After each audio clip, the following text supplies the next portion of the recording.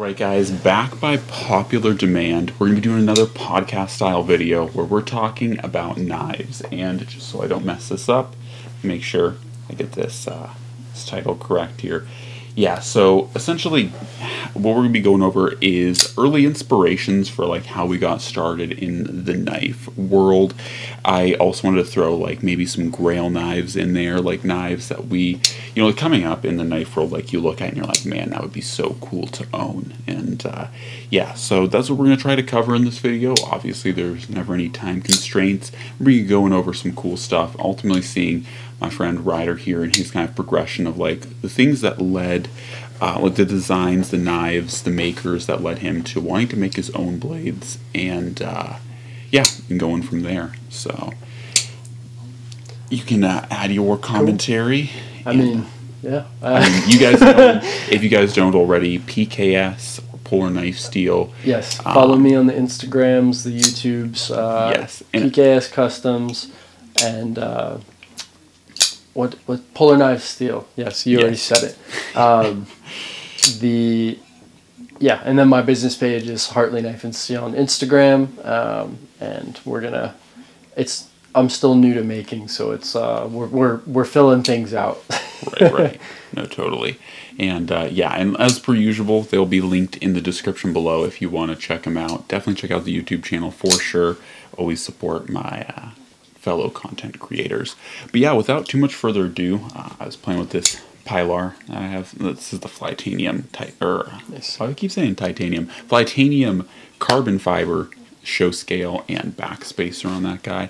It definitely is overkill because the knife literally costs less than that handle. That handle costs more uh, than the whole blade itself. So I'm like, it's a little weird, but I remember the Vox, like the F series and Yeah, stuff. like Those the are so F5, nice. gosh. Yeah, they, that I was still look that at was a whole time. Yeah, I still look at them from time to time. Like, should I do it? They're almost like lion steel for me. Like, uh, gosh, uh, like lion steel. Don't get me wrong; they still make good knives and stuff. Yeah. But like back when they came out with what was like the TR something, it was like that, like aluminum handled uh, frame lock that had like the, screw in, Yeah, yeah. Uh, overstop travel, so you could like lock it up and it become like a fixed blade kind of thing. Like everyone knew it was hokey, but it was still really cool. And they're just beefy blades, but that's kind of where like Voxnaes really sits for me. I'm just like ah, Jesper is really cool, but So his customs are different, right? The Mm-hmm. the it's those collab uh, pieces that are kind of you know, the, if you could find a custom, uh, that would be worth it. But you know, For sure. I don't even The know what he's making these days. Isn't he affiliated with? Uh, maybe that's Anso. I get those guys mixed up. yeah, no, I mean there's a lot of them that are running similar spheres. Who, who's uh, affiliated with Giant Mouse? I think Voxnaes is. It is Vox. I think Okay. I think it is Voxnaes. So that stuff is interesting, but I don't I don't even know what he's doing outside of that. Like if that's all he's doing, then um, you know, his customs are probably pretty expensive. But you never know. Some of those guys, like when Curry fell off, his stuff became super cheap. Right, You right. can get a Curry for like a couple hundred bucks, and and I remember when they were trading closer to like fifteen. Uh, so it's right. that's a that's a different era, but It, it is, and like the economic dichotomy definitely yeah. changes. Anyways, so now jumping into like the actual, I think for the most part, um, Box is in there. Box is in there oh, for me, sure, and I think sure. it's like it's a really good way to hop into Yeah. it. Um, but yeah, so I have a couple Gavkos. I'm trying not to like throw this sheath off this chair, but anyways, I have a couple Gavkos here, and I think that the Gavko knives are like a good place to start, kind of officially getting into this because I think one thing that makes um, us like have really like I think one of the reasons we get along so well is we had a really similar start time frame to getting into knives and part of that was also Gavko as we mentioned Yeah. in the last video um, some people here use Gavko to go to sleep um, I used to fall asleep to Gavko. Right, right. Like his voice still just soothes me into sleep. Gav, if you see this, thank you. Uh, and you, that's you should clip that in. Like, right just like Gav, if you're part. watching this. right. Um, but yeah, so Gavko, Tough Thumbs, Yeah. and quite a few other just really kind of low key makers on the YouTubes is often like really when I started getting into knives and like wanting to know more. This is kind of where I started. And uh, granted, I just got this Gavko Nurse. This is pretty new for me, but undoubtedly, like Gavko and his impact um, on my desire to really like go after knives and to know, I think the biggest part is to like know what a quality knife looks like, and maybe like definitely these have very unique styles that are you know not everyone's taste so obviously maybe these aren't it for you. But um undoubtedly like i don't know i think there's a lot of quality to them regardless and like i said even if you don't like these styles their impacts early on were what like led me to know like what is a good steel what does a good steel look like what is a good blade shape because i think a lot of these guys not to like I know you haven't talked yet, but I think like a lot of these guys were oftentimes, especially Gavko, like he started off as a collector. Yeah. And so like he would show you like man, maybe not a poltergeist, but like definitely Spyderco's. I'll just grab the Spyderco again. Um, but you know, like, they showed you what knives were quality and taught you a lot. I think like that era on YouTube, especially like there's a lot of homebrew going on, and like homebrew is great, but homebrew has a very, uh, and I, I call it homebrew making because I try to not do that. Uh, like I'm not using wood. I don't use carbon steel. Like I kind of broke the mold for what people usually do. I, and I'm not special. Like this is not uncommon now. You see people like. Um, Walkman, uh, and uh, who else is killing it? Triple Stripe. Like these guys are coming out of the gate killing it. Like Triple Stripe, MST, those guys are both real young and they're killing it. I don't know what they were doing before, but they do not li- look like homebrew makers, and that's what is, is, kind of the difference. And Gavko kind of fit that EDC mold. Um, and Gavko introduced me to Tough, and Tough introduced me to Vance and like Vance introduced me to Dirk and like it just it goes uh, the the rabbit hole the iceberg goes deeper right. um, but the the uh, who was it uh, Tough and Gab did a did a video talking about like the Brous Reloader right. and the Kwaiken um, pre-order uh, from Hoback and like I was in on that original pre-order. I never ended up buying it but um, you know stuff like that you know brous was right around that time frame. Mm-hmm. so they there was that youtube community. And i feel like at the time there's really only like what are you gonna watch? Nothing fancy? Is mm-hmm. it lightweight there's shit um, i think blood of patriots came around sometime in that category uh, dirk razor sharp was one that i always watched a lot of and that's where i found poltergeist and that's why i, I you know to this day uh, will continue to wait uh, ages uh, for another for another poltergeist. Um, four year wait for that. You got the tritium thumb stud. Uh, and his signature just like minimalist construction. And I, I like his designs which are a little out there um, which is where I got a lot of my influence from. Poltergeist, Gavko, Tough, um, all very very influential on how I build knives. And so right. uh, and I think part of like like I was saying, like their influence goes so much deeper that like even if you don't buy a lot of Gavs or Tough Thumbs knives, like these were some of the people who like early on established their names. I I want to say I don't want to say like as knife experts because you know I think they were well, learning as they went along. It was the YouTube, right? Like like right. if you're you know my generation was looking everything up on YouTube, right? Mm-hmm. That was that was when um, that was what you did, right? Like we, I was around for the inception of YouTube. I remember when right. it didn't work well, you know, like, oh, yeah. like, um, and so growing up on that, uh, you, there's only so much stuff to watch, and and some of these guys have been doing knife stuff on forums and things like that. Uh, I don't know if Blade Forums was a thing. That's not really ever been my jam, but USN, um, all these different like micro communities, and you know some of them even longer than that if you really get into it. Uh, but YouTube for us was like that's where you went. You were looking at knives, and you were bound to fall into one of these rabbit holes. And it's only gotten deeper and bigger uh, since then. I mean, now there's way more makers, and I'm I'm not a historian on this stuff, but that was kind of how I saw it.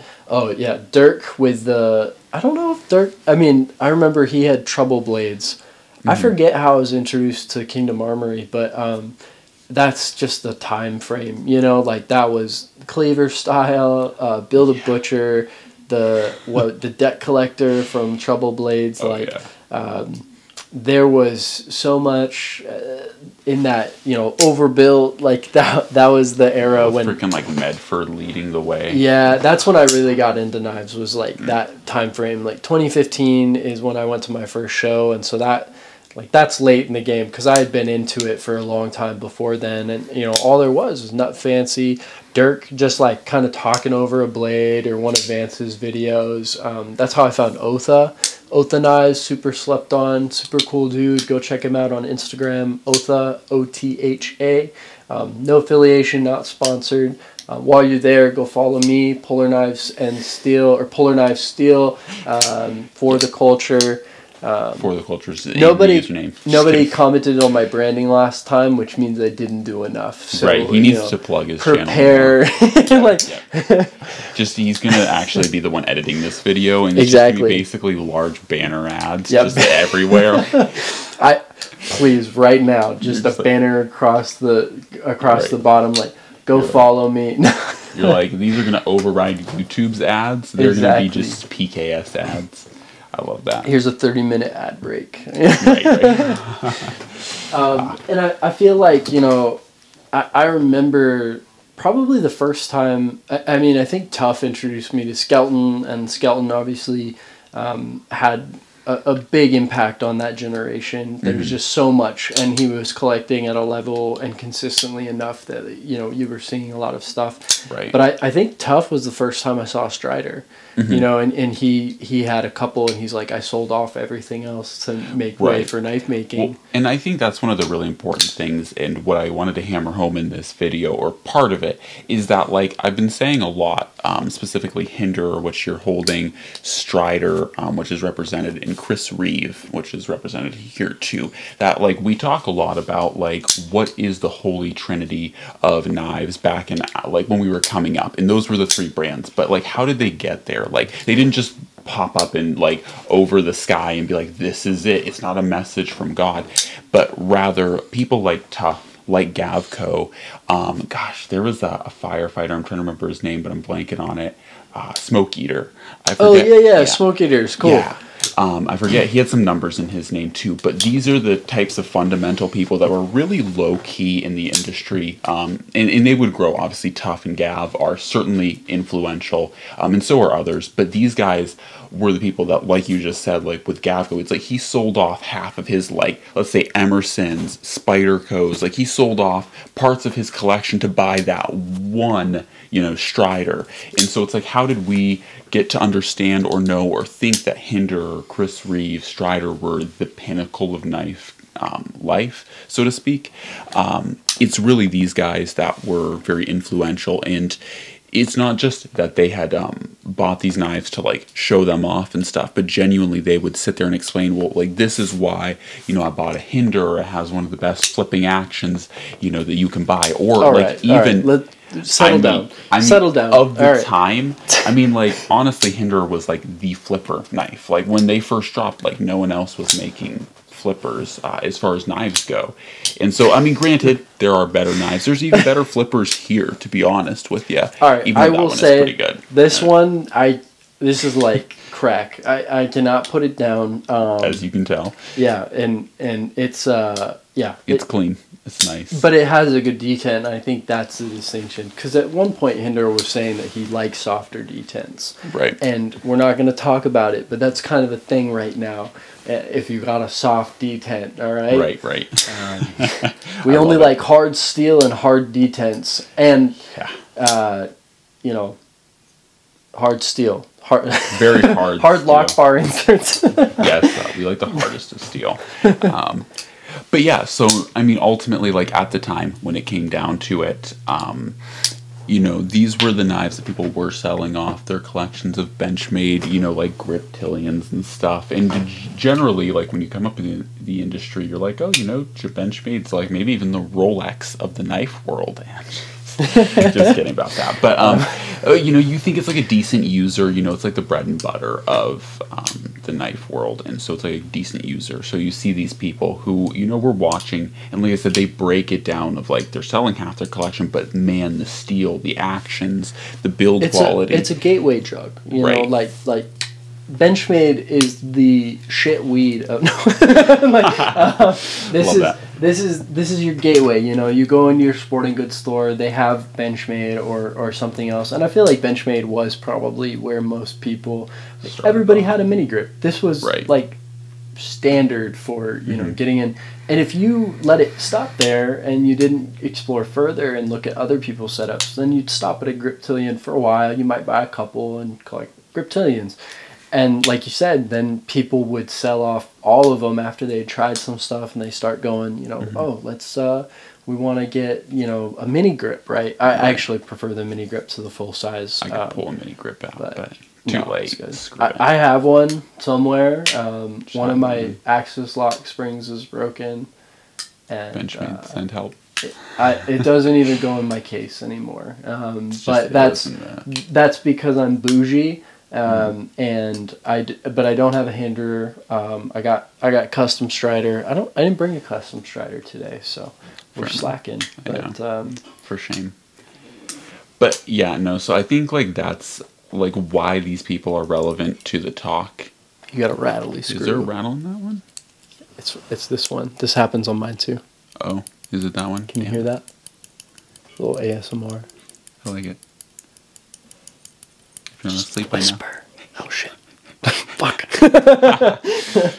um, rip Yeah, headphone users. Yes, yes. Um, everybody Um, just turned it up. They're like, I want to hear it, and then I just laugh the They're like, I was falling asleep.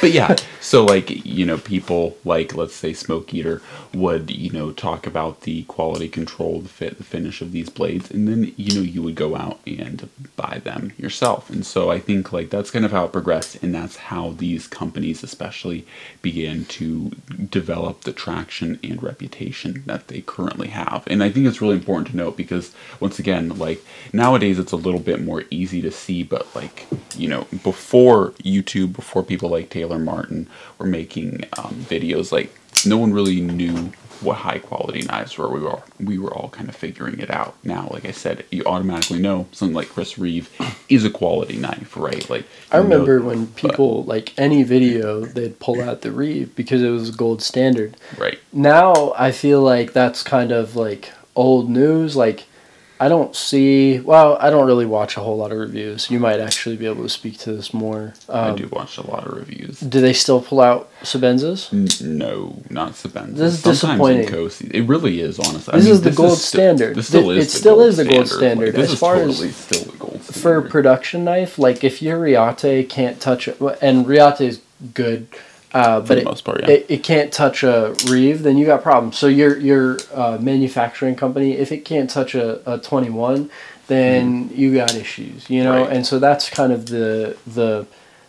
Yeah, I'd like to see a return to that. I mean, I don't watch reviews, so I'm not your target, you know, customer. But um, yeah, like that's.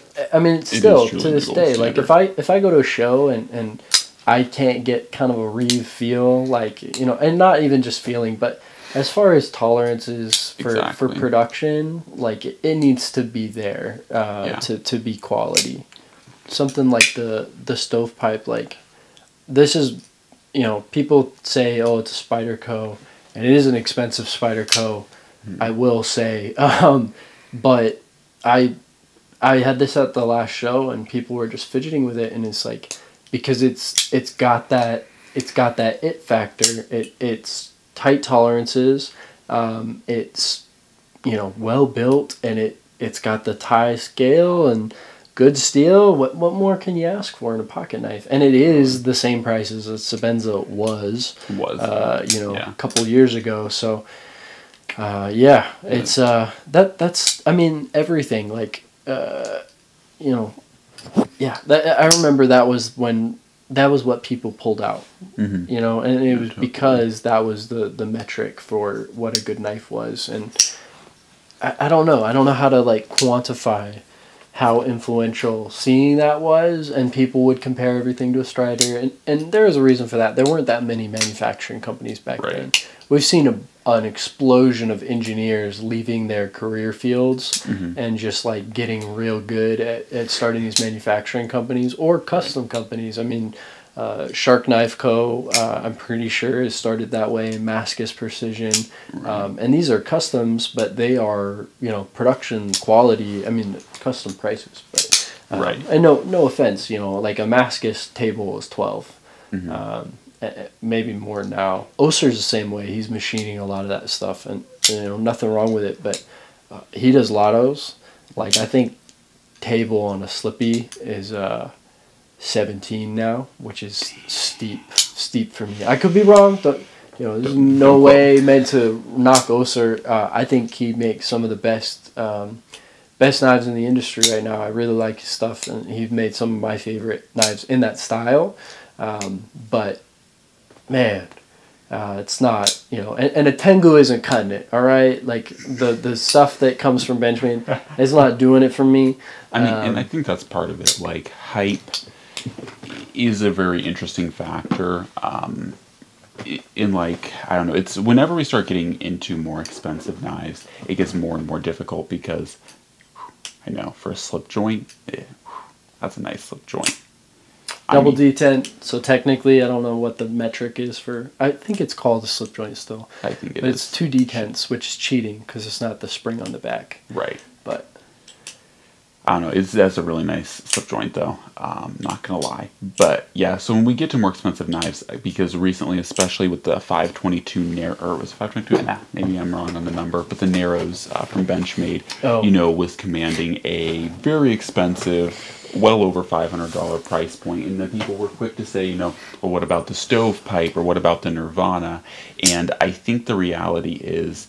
Um, like maybe there is a bit of uh, or a degree of perceived quality, but by and large, it's like the manufacturing we know to be the execution, I guess, is not always the best with Benchmade or a Spyderco. Like you know, their heat treats are up to snuff. Even their Taiwan or Taiwanese made blades are arguably as good as their American blades, and that is something that's tough to admit. Even some with some Chinese manufacturers like Reate or Riat, however you'd like to pronounce it. besides you know, the besides the um, the pilar um, and maybe the brous, I think that's the only overseas uh, build that's here. Uh, I don't know where the grams. The. Brous isn't overseas. That's American. Really? Yeah. Oh. This this all of his soldiers were American. Hmm. It's um you might be getting confused because the Sog Snarl, which is the knife that got him in the hot Um, water with Sog. I think it's um, just the feeling. Like there's something about this, Mhm. but I think that's just the brous thing. Mhm. And so that's is this how this whole meant Yep. to be hold? I don't Yep. think I've ever done this before. That's how it's. I like it a lot held. more now. Yeah, that's how I, that's how I hold it. I always try and do this, and I'm No, like, no, this yeah. is weird. No, it's Um, always supposed to be your index finger, middle finger, ring finger. Always Um, use three fingers. always use three fingers when you're going in. Um, but anyway, this feels weird with the jimping. Yeah, and it's like a back. flag pattern. um, you're like take it all back. Yeah, the the frag Um, pattern. See, now that's comfy, yeah. right? But the little palm swell. It's like the SLCC. I should have brought it. Ah, yeah. uh, because it it's like there's a hole in the handle, Mm-hmm. but you're not meant to use that hole. Like if you use the hole, it's it's gonna be weird. it's weird shape. Like you you got no control over this. If you want to Yeah. do something, you're gonna you're gonna cut something off. So right. um, you got to be careful. But yeah, it's got the frag. I wanted to show the back. Yeah. No. Totally. Go for it. But, um, Should be. But yeah, no, the out very know. that the jimping is very interesting on that one. But yeah, so I, I think yeah, the CRKT is the only one here that's not made in America. Actually, aside from the uh, stovepipe, stovepipe, I think Yeah. the rest of them are all American made. Um, but anyways, oh gosh, let me. Yeah, so when it comes down to value, um, it, it can be challenging, but I think that's the, the whole issue with Benchmade is that they're offering a very expensive price point. And the point that, somebody called me on was that the um, the Paysan and the Paysan is now like we're getting into the like seven hundred dollar range. Um, I don't call me on exact price, but they were saying you know Spyderco would do the same thing. The thing is, I'd rather buy the Spyderco than the Benchmade, and that's personal preference. But I also think that it's partially the Rassenti because this was a recent build. The stovepipe is still, you know, and it is expensive, it's like four twenty five, four fifty or whatever. Um, But the Paysan and the what was what was the first one? You're talking about the Nirvana. The Nirvana. Th- they were expensive, but Mhm. I mean, this is they just recently did they discontinued that? I don't know. The Nirvana's been con- This discontinued one. for years. Oh, this guy? I think this one was discontinued. Yeah. Yeah. Um, because I mean, a lot of them, like the Nirvana, we all knew was going to be a limited edition thing. The stovepipe, a limited edition. Um, just I like for, Rassenti. I Yeah. like some of the Rassenti knives. Peter Rassenti does a good job. what I- the fuck does he know about? That's a Kanye quote. That's, I shouldn't do that. Uh, but yeah, so as far as like value goes, it is definitely subjective. But I think Spyderco definitely has a better execution, even out of their foreign manufacturers. Yeah. Um, their Chinese ones are a little questionable. I don't really yeah, like I'm not like the tenacious. uh, even yeah. though I came up like my first like nicer pr- budget uh, production knife was a was a tenacious, and I Mm-hmm. carried that a lot.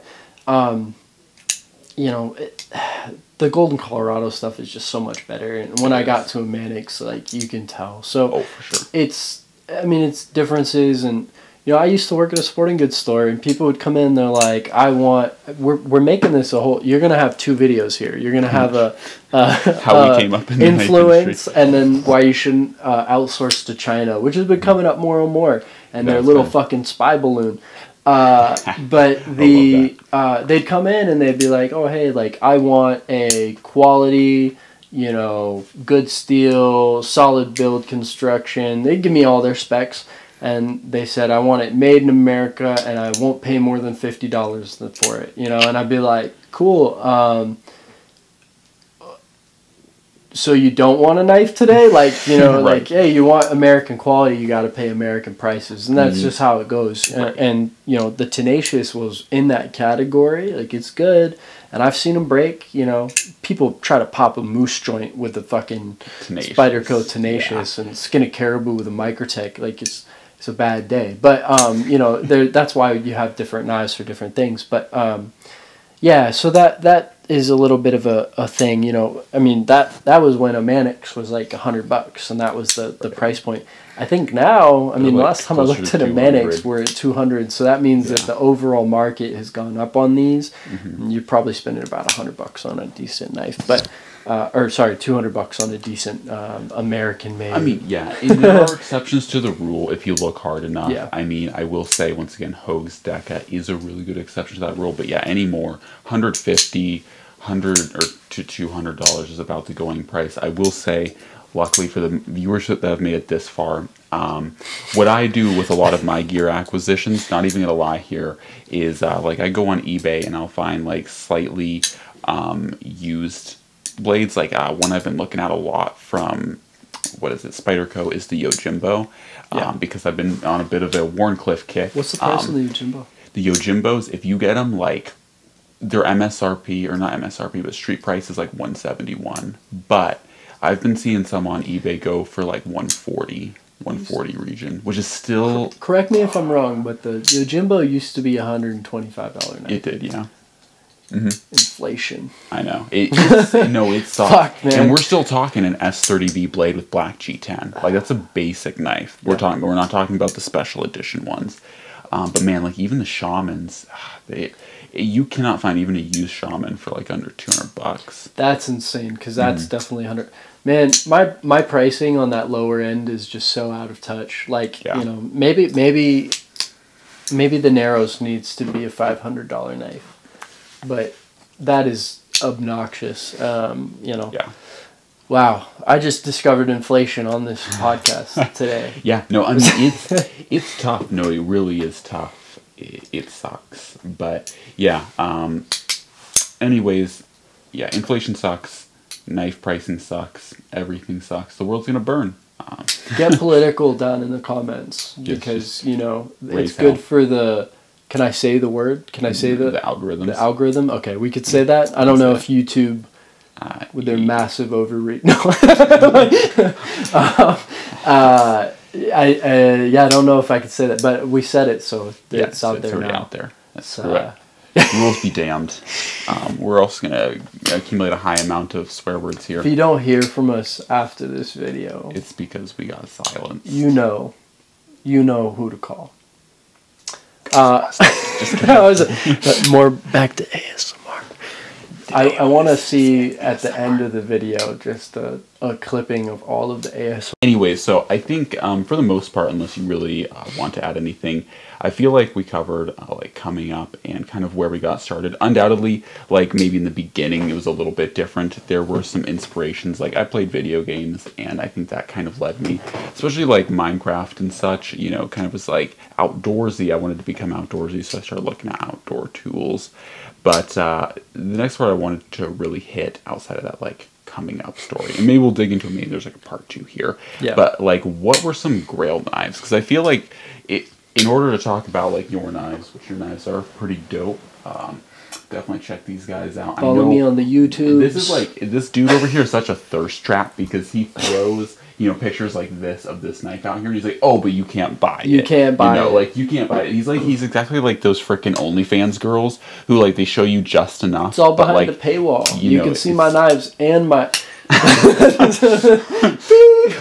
it. right. Oh, but it's all behind a paywall. It's all a thirst trap, and he just does this because he's not actually. He doesn't even make knives for sale. He just does this Yeah. to tempt people. He's people are like, oh, I want the culture. Right, right. right. It's no.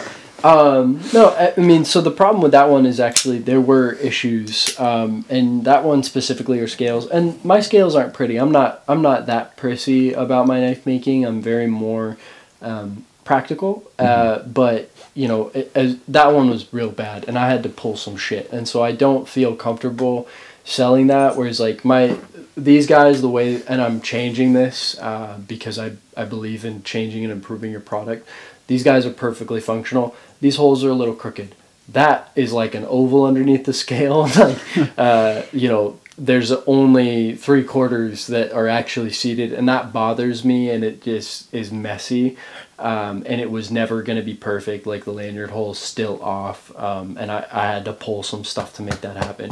And that can't go out um, and so you you pick your your quality tolerances and that that was just unacceptable so um, i'm going to make more of those uh, and i am trying to move to more production stuff and we could talk about my company another day um, and i know we're going to talk for about my design uh, here in this video but um, as far as grail knives go um, is that was Yeah. where we were heading um, you got the holy trinity uh, I think that yeah. Hinderer, Reeve, and Strider. Um, and then there is the fourth, the the dark stepchild, the black sheep of the trio, the trifecta, Mm-hmm. and that is Microtech. Um, because I think that it was one of those things that um, if you were really into collecting, you had a Microtech. Um, but that was one that was adjacent, and I feel like it stands its own class. Like it's Mm-hmm. an OTF versus a frame lock um, Well, and I folder. will say they're SOCOM elites too. Like I've seen some. I used to Yeah. own a Microtech SOCOM Elite that saw some time in the sandbox, and it was just beat to hell. And it was original D2 version. you it really like a liner lock. shouldn't pull your knife out at the playground. Yeah, you're not wrong. No know. offense, I just I no. uh, I see where you're going with that. Yeah. Uh, but man, that thing was just beat to hell. I have some pictures. Maybe I'll roll them in here. I don't know if you've seen pictures of it. I threw it up on my Instagram. But yeah, no, the OTFs were very unique. Um, but yeah, you can keep going. No, I mean that those are the the big ones, but Mm-hmm. I mean at the time, so I feel like, you know, a part of this conversation is the the culture and the, you know, social media. I mean, for me it was YouTube. Uh, I'm sure that there are people who came up on Instagram uh, in the last couple years, and I kind of took a big break there uh, while I was going to school, and so I'm not as familiar with some of the stuff that happened in between. But uh, that early days, you know, what, ten years? I mean, c- pushing fifteen at this Right. point. Um, that's what I'm more familiar with. But YouTube was the thing, and so you know we were very influenced by what the YouTubers had. I remember uh, Jim did that video on the snafu, and for a while the snafu Right. was the Grail. Um, and now I can get one from CKF for you know less than fifteen hundred dollars, uh, which is nice. But um, you know, I feel like that stuff. You know, I probably would have said like a Frank Fisher Archangel at one point, um, Mm-hmm. which we're not we're not into now. You know, uh, Kingdom Armory was probably one of those Grail knives. Um, but now I feel like my tastes have kind of changed. Uh, I mean, I'm not really. Um, you were asking about like modern like Grail knives, right? For- right. Well, and I think just grail knives. I'm just thinking like grail knives, especially ones that you have. And obviously, I know you don't have like all your knives here to reference. I was No. gonna, I- I'll get into mine too when we come to my bit. But yeah, no, like just grail knives throughout the time. I think it is very interesting just to hammer your point in that like definitely the tastes change and evolve. Um, and, and in some ways they stay the same. Like this Yeah. Gavko, it did take me a long time to get a Gavko custom, But- but, I knew I was going to get a Gavko See, custom that's at some that's point. so different because it's modern. Like he Right. only started doing that in the last what, What, like- five six years, maybe longer actually. I don't know. I think a little bit longer with the uh, Makos, probably, Damn. but I think like 2014 ish. Maybe it's been closer to 10 years. Uh, okay. Damn, Um, I'm getting old. I know, I know. He's been making the Makos for a long time. Now you're right. Like the Nurse is a really new design. Um, this is not an older design. I think, like I said, it came around like 2020. Um, so it's pretty new. Yeah, and I feel like you know that definitely you know Gavko and you like Gavko because of what he did back Mhm. then, um, and that's what's influenced your taste and style. Um, I feel like, man, I don't even know what my modern grill knives are. There's so many. I mean, a Nalu, Nalu is top tier right now. Um, as far as what I actually own, because I'm not gonna touch a Nalu for under like what do you say maybe 3k uh, and could that's not table Mhm. um, you know poltergeist which was more of a weight thing like i got in on his books i'm actually on for a second one um, maybe i'll go for three uh, but they you know that's more of just a waiting game and i could buy one on the secondary for pretty cheap you know like if i find one again um, i have the gavko which is more of just a heritage Yours piece where's the little guy yeah yeah um, so this was kind of a grail piece to own. Uh, same thing with that tough knives down here. I think your Graham too. Uh, at least Yeah, I, had a nicer gram. Yeah, I had a much nicer gram. Uh, it was it was I, I miss it dearly, but um, it's in a in a good home. The tough knives. This is what he calls the scrapper, um, and it's just a one off that I you know kind of uh, commandeered. Uh, but it's a it's a really cool piece. It's sharpened on the back end, and it it's very representative of what I think is is tough thumbs. Tough thumbs and his style uh, back then, which was just kind of funky. The Tanics were weird for the age, even, Uh-huh. um, and so yeah, Yeah. he had a very weird uh, design ethos, but I mean also very very unique. Like it's uh, it's unmistakable if you know tough. Like yeah, you know. he, he definitely has a style. Mhm.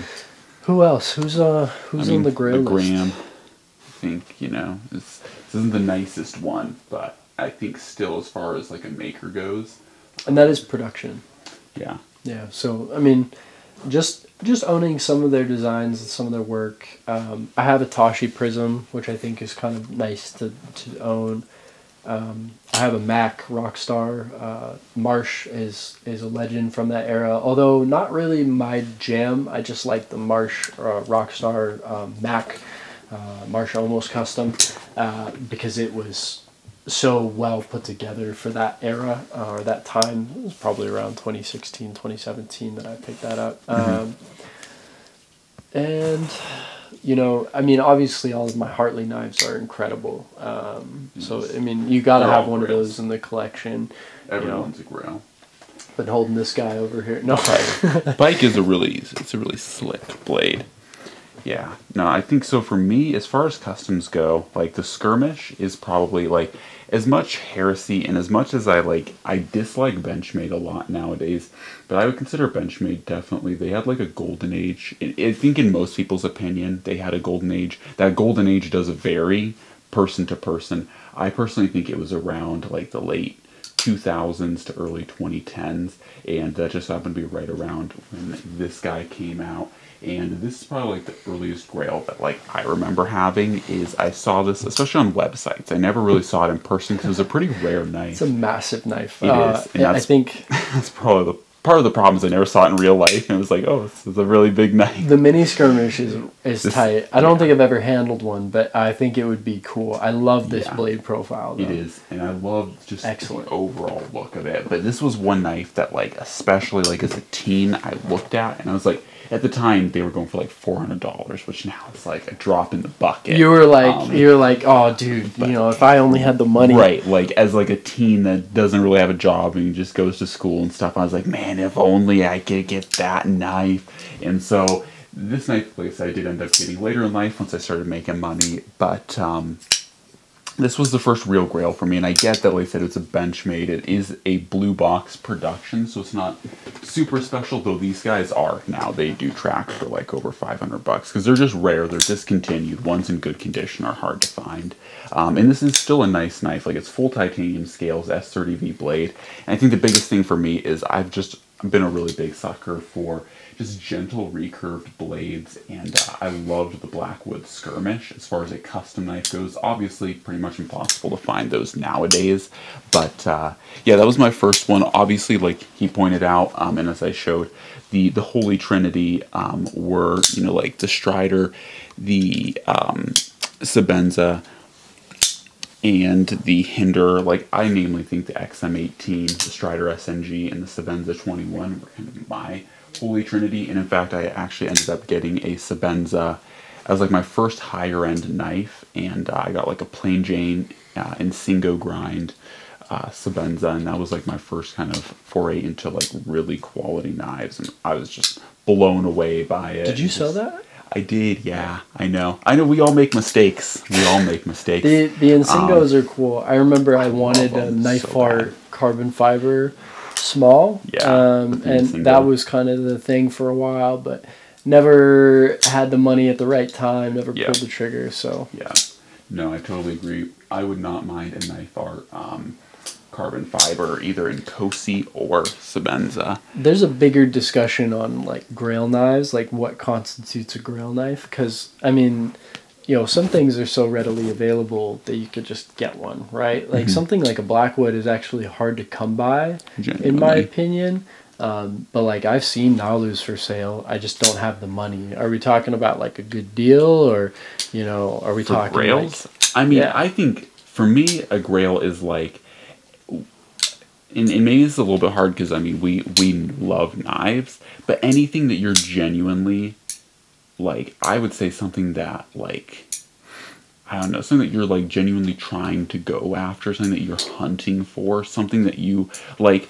You're right. I can walk into a knife shop at any time and buy, let's say, like even a Hogue Deka, right? Like I can go on just about any website and buy one at any time. The Hogue Deka was easy to get for me, right?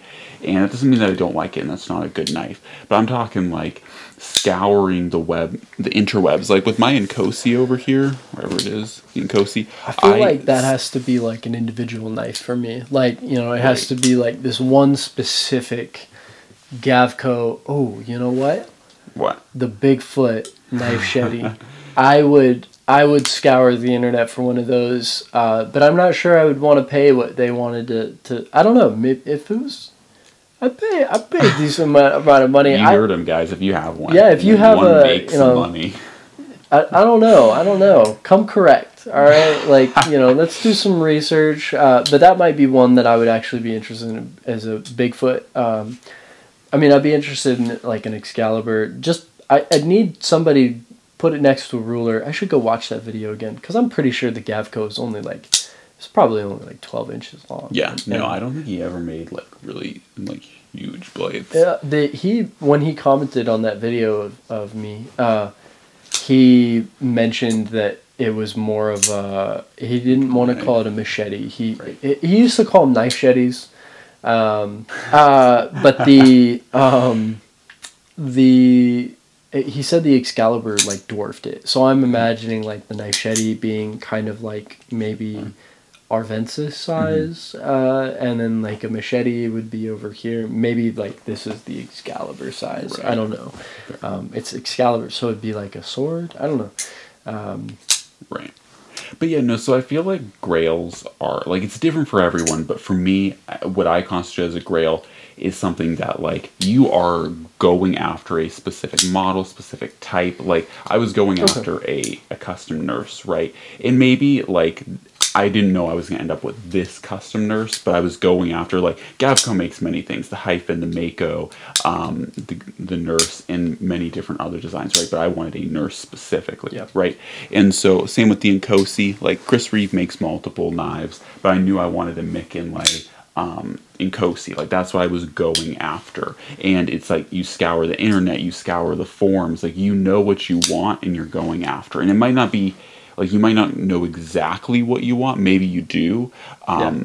But yeah, and like I remember the skirmish for me, it, did kind of pop up. It was kind of like, oh, I found one, but I was specifically going for a skirmish, I just want to back up just a little bit. Mm-hmm. Did you call that a Micken? a Mick inlay. Like a like a like a McChicken? For yes, like like no, it's M I C inlay from micarta inlay. I must be getting old. The, know. the He Raffles, the. LOLs, get out of here. No. This is Um, the Mick. I was like, I knew exactly what it was, but I was like, Micken. I've never heard that terminology. Okay, all right. Anyways, the micarta inlaid version of the Inkosi was what I wanted, or I should say, a large micarta inlay Inkosi. I guess when you put I it like that, like a specific Um, build would constitute a grail, like that, like that one knife out there. Um, and I don't know what that is for me, to be honest with you. Like right now, Mm-hmm. there's there's a couple, there's there's a couple out there that if I if I dug hard enough, I could find. But uh, again, like half the time, you're you know where that knife lives, Mhm. and you're just throwing money at somebody, and, and they Right. probably don't want to sell. You know, and that's yeah.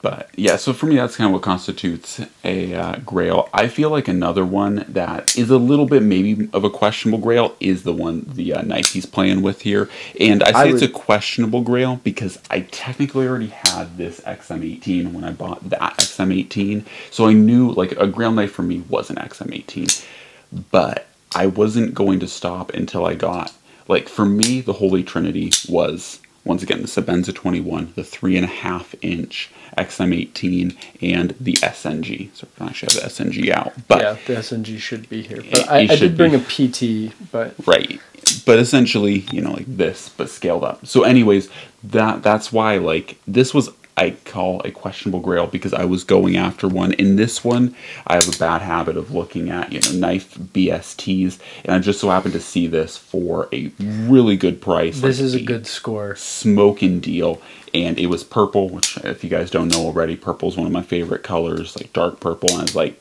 it, it, was coming home with me it wasn't i, I was ta- i was gonna buy it like so it, it was something i was looking for though i kind of unintentionally found that one um, so it was more of like a passive thing but anyways so that's one of them that i would consider a grail a little bit and then of course one of my most recent grail acquisitions is this full custom Gavko nurse. As I've kind of mentioned throughout this banter, um, like I, I knew that I wanted a nurse. Wasn't sure that you know, like I wasn't sure when I was going to get one. Wasn't sure what exact custom like custom like size, colors, all that stuff. But this one came together. I did know I wanted an XL because the nurses as a whole, even as an XL, as you guys can see here, like this is a pretty small knife. I mean, its overall opened length is 7.1 inches, so pretty small. But uh, I knew that I wanted one of them in my collection. I would say two. Another one that I would call a questionable grail, similar to my Hinder, is a the mini Minicom that I have for or from Emerson. This is by no means a an expensive knife, and I feel like sometimes with grails we're like, oh, it has to be expensive. But I knew that I wanted a Commander from Emerson really badly because I just love the deep recurve. And for me, this is another one that unintentionally came together because I wanted an old Emerson, and so this is a 2009 production Emerson Minicom. And yeah, so like it being a commander, it being old school was like it kind of came together, and I was like, Do you know about the Emerson Eagle? I do. I know of its existence. It is. It's a pretty neat knife. Um, They're really nice. Uh, they feel very good in the hand. That's one that I would probably put on that list because I, I don't know. I mean, technically, I could get one if I wanted to pay secondary, but if I could win a lotto and get uh, one of those, I would be very, very happy, and that would be like a, a dream come true. for sure. Although it's hard to keep knives when somebody's trying to pay you like Oh, yeah. five k over table. Oh yeah. Uh, no, totally. It. Yeah, I understand that. It uh, that's a lot of money, and it's like mm, I could do a lot of things with a lot much money. But yeah, so those are some of I think like the grails slash questionable grails for me. Some of them definitely, like I said, I pursued hard and uh, you know like found them and like sifted through a lot of things. And then also, you know, uh, my friend here, we we both are in a lot of the same forums, and so you know we'll send each other, you know, like oh hey look what I just found, and you know, i'm not gonna lie, it's led to me getting into some good deals. And uh, Have you bought any of those that I sent you? I'm trying to remember. I feel like I have. I can't exactly pinpoint. And some of them I don't tell him about, like that hinder. I didn't tell him about that. I just I was Yeah, like, I'm not gonna let him good, see that. Because I would have liked it. I, I, I'm real weird about Hinderer, but I, I really like that one. Um, and yeah, I It's- almost want to like nice. go on the search for one, but right. that them's knife making money. Yeah, Uh, it, it is tough. Definitely, I think like being in. I think what makes it interesting is like he is a knife maker. I'm obviously a knife content creator. So like for me, my money goes into knives to make videos, and I do enjoy. Like it's not solely like oh I just put all my money into this. It's something that I do enjoy personally. Whereas you have a little bit more of like you are a collector. You want to buy knives, but you also want to make your own knives. to Yeah. establish your brand. At some point, Um, you know, every every time I buy another knife, it's equipment that I could buy, and so Right. I, I And I have a lot of you know conversations with myself. No, it's it's No. honestly right, and I mean especially at the like the level that we're spending money. I mean, once again, like Hinder's four hundred easy. You know, a Bead lot of these knives, That's a bead blaster right there. right? and even if it's not one specific like piece of equipment, it's like, man, how many belts could that buy for a belt Yeah. sander? How many? Surprisingly, not that much. Belts are Probably. fucking expensive, and so Yeah. that's that's kind of where I'm at now. I'd love to get into making folders and stuff like that, but Yeah, um, yeah, the collecting side. It, I mean, that's that's the fun part. I mean, I, I got into knives for the same reason most people do. It's just uh, there's something appealing about you know quality crafted stuff, and um, I think that you know it's worth paying that extra dollar amount for. And and um, now that I make knives. Be nice to knife makers, man. This shit's like hard. That's why, like, like I was telling him off camera, you know, like I get so many questions when people find out that, like, uh, like I collect so many knives. I have so many knives, and they're like, "So do you make your own knives?" I'm like, "Nah, man. I, like I respect what people do when it comes to making knives, but I I don't have the patience to do this. I'm kind of like a, a connoisseur, like people that love to smoke and collect, you know, like cigars or you know different types of bourbons or you know um, different things like that. Like that's me. I enjoy a good knife, but uh, this one's not done yet, but um, it's all, it's still pretty to look at. got the micarta. I, it looks sick. I need to set in and fix the grind up, but um, I love this this caramel, vintage caramel micarta. We don't know where it's from. caramel micarta. Just from somewhere. Yeah, well, he wouldn't. Um, there's a whole debate, like people calling stuff. Uh, Micarta when it's uh, no, not micarta. Uh, Westinghouse. Oh Uh, Westinghouse micarta is like a specific breed of the best recipe, and there's Mhm. a lot of sought after stuff.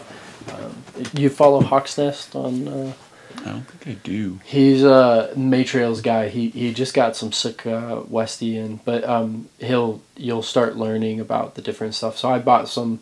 I have some vintage uh, butterscotch uh, Westy rolls that I'm looking to. I, I don't know if you- I've started to hoard uh, knife making materials, and I have a lot of Maytrails that I really shouldn't buy. But um, that stuff is cool. Uh, like like I really like a nice, well put together, not just slapping whatever on right. Like it's a it's a tasteful build that works together. So Mhm. um, I've been hoarding materials for when I get into folders or like I do uh, nice stuff. You know, like some some really nice inlays on something. Mhm. Um, but yeah, I mean the the Grail discussion, and as far as like collecting goes, it, it's it's hard to do now, uh, but you know, one day, like you know, I'd still like to collect from my favorite makers, and I just really have a thing about specific knives, specific builds, um, and then like quality craftsmanship. Um,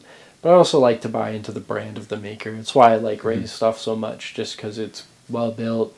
Um, it's really tasteful design. Like they're so simple, but every every detail, every angle is so perfect. Right. And it's Um, like a grill knife- about everything. A grill knife would be one of Dre, one of bleh, one of Ray's, uh, Dammy, um, like a lotus, um, and I, I'll have to find a picture of a lotus for you. Um, but uh, those would be absolutely killer to have, and I, I'd really like a Tonto Jasmine because that was one of those first ones that I saw at the Mhm. at the shows. I think that really does speak a lot too. Like oftentimes when it when you look back at it, like I find myself wanting to go more and more like vintage, especially with Yeah. custom makers, like trying to get some of their first stuff. And I, I think that's like honestly a lot of people. Like you've even encountered that yourself where people want Yeah, people want the your- the beginner stuff um, because it, it's got flaws, and it's like I'm just learning, but I don't want to sell it because it's got flaws. Um, so there's this weird balance of, of integrity, and I, I've seen that backfire for people. Well, they sell their bad work, um, yeah, like and then real it gets bad. circulated out there Yeah. into the world. But this guy was one of those like Gavko early work. Um, these little fixed blades. This is all I grew up on. So um, I actually have a couple designs in a similar um, size range. I mean, that's what the Pike started as. Was something about this size, and you can see where it where it's kind of gone. Uh, but I just wanted something classic that was very utilitarian, um, and then something that could handle meat processing and, and Right. you know a king salmon versus a trout. Right. Um, that's probably pretty good. Oh yeah. But uh, yeah, Cool, cool. Yeah, I mean, grills are definitely interesting. Um, and once again, I, I like talking about grills with everyone because I think everything, uh, or everyone has different perspectives. Like some people might look at the Spyderco with its blended steel, um, CPM 154 and CPM S90V. And, you know, this is no doubt like a bad knife by any means, but this might be a grail for someone. yeah, And, uh, it was a grail for me. Uh, well, a grail to get it at a good price, and I feel like that matters too. Like. Mhm. Again, you can just throw money at the problem and you will get whatever, but not everybody can have the budget to buy their grill knife. Like, I don't have enough money to buy a custom Nalu. I'd love to get one, and that's what makes it a grail, right? And I've gotten deals on knives and stuff, and, and so that that factors in for me is like if I could get a Nalu for a decent price, I got that for steel. Um, shout Oh, out yeah. to Wes for hooking it up, Dude. but um. you know, like I didn't want to pay the appreciation on a sprint run, and and called me difficult, but you know, it's like, look, this is a hobby, and uh, I'm not I'm not gonna you know, I could buy Sebenza with the amount of, that those go for, you Oh, know. yeah. And so it, it didn't make sense. Uh, but I had been after one for a while, and, and he knew that. So uh, thank you again. But yeah, I, I love that. I was he, he gave me a steal on that. Oh, I know. He got You in a told me. raffle. You told me. Yeah, but yeah. so he, he gave me a good deal on it, liquidated some cash, and uh, you know we both came out on top, and and uh, that's all you can ask for. So Sure.